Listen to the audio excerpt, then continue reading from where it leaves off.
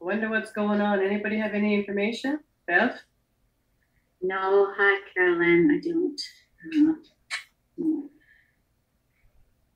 We're getting, um, the president of the, uh, African Canadian Association of Ottawa are appalled with what happened today. I guess we should have expected that. I read that. Yeah, I did read that. And I will read it and think about it more tonight, actually. Yeah, for sure.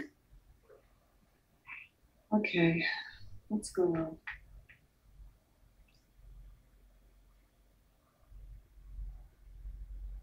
Krista, are you able to update us on meeting start time? I see that she's here.